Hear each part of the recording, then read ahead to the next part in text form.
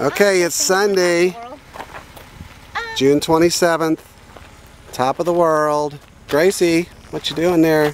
Sweet little baby doll, is this any fun? Are you looking at me or are you going to squish rocks? Look at Daddy and tell him this is fun. This is fun. uh-huh. And here's our Jeep that makes it possible.